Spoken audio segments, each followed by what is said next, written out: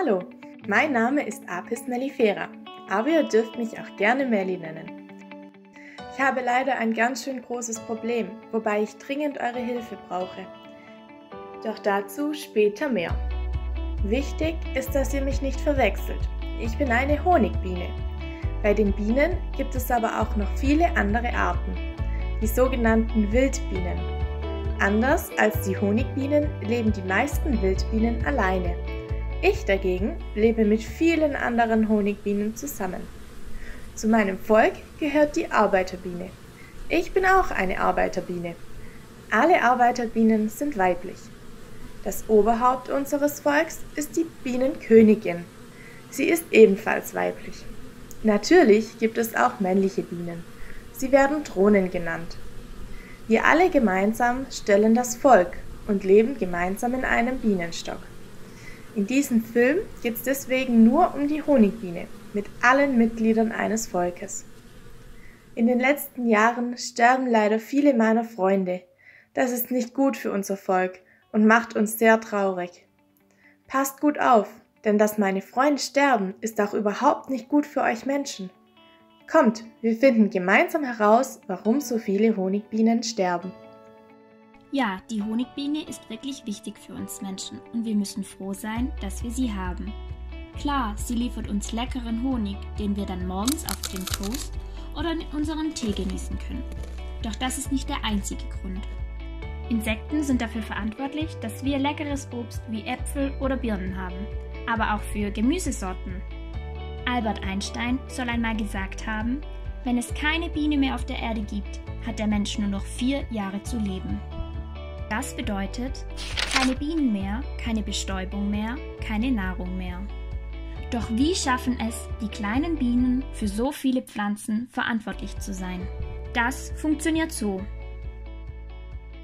Stell dir einmal vor, du stehst auf einer Wiese mit vielen großen Apfelbäumen.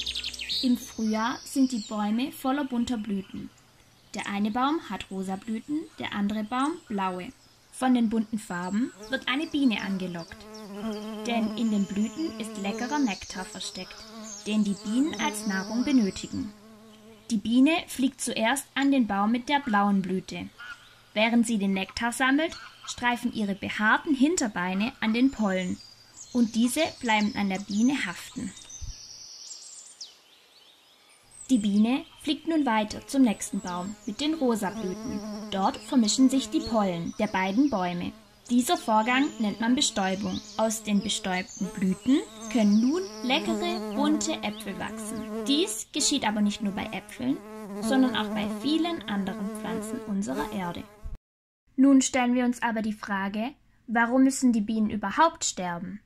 Das liegt vor allem an uns Menschen und wie wir mit unserer Erde umgehen. Denn die Probleme sind fast überall auf der Welt dieselben. Besonders die Landwirtschaft schadet den Bienen. Wir pflanzen Monokulturen, das bedeutet, auf großen Flächen wird nur dieselbe Art von Pflanze angebaut, beispielsweise Raps.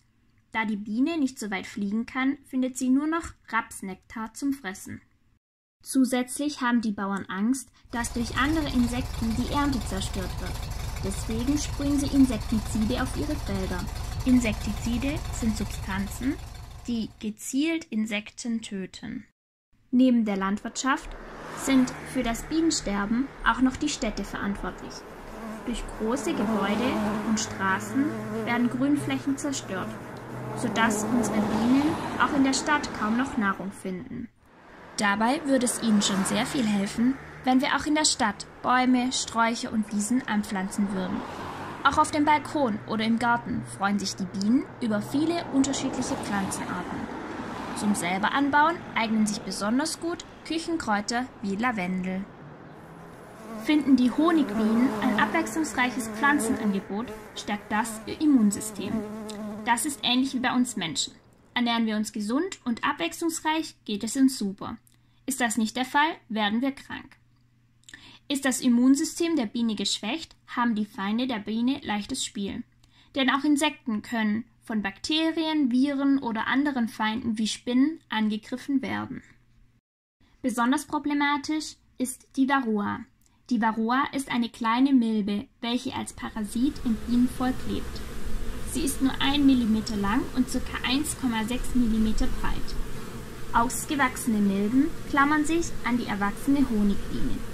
Für ihre Ernährung saugen sie am Blut der Biene. Durch diese Mitbewohner wird das Bienenvolk stark geschwächt und viele Bienen sterben daran. Das waren nun ganz schön viele Informationen. Deswegen nochmal kurz zusammengefasst. Die Bienen müssen sterben wegen uns Menschen. Denn wir pflanzen in der Landwirtschaft vorwiegend Monokulturen, wodurch die Bienen keine artgerechte Ernährung erhalten. Zusätzlich werden Insektizide auf die Felder aufgebracht, um einen größeren Ertrag zu erzielen. Zusätzlich wird den Bienen durch den Städte- und Straßenbau wichtiger Lebensraum weggenommen. So finden sie nicht mehr ausreichend Nistplätze. Das ist ein besonders großes Problem für wildlebende Bienen. Als vierter und letzter Punkt steht die schwache Immunabwehr der Honigbiene. Durch eine ungesunde Lebensführung wird das Bienenvolk geschwächt. Die Biene kann sich nicht mehr ausreichend verteidigen und es müssen ebenfalls unzählige sterben.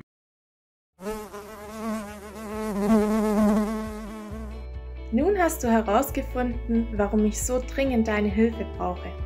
Doch findest du auch eine Lösung für mich? Denn nur mit deiner Hilfe kann ich es schaffen zu überleben. Rede doch mal mit deinem Sitznachbarn, Lehrer oder Lehrerin darüber. Gemeinsam seid ihr stärker. Viel Spaß und bis ganz bald. Eure Melli.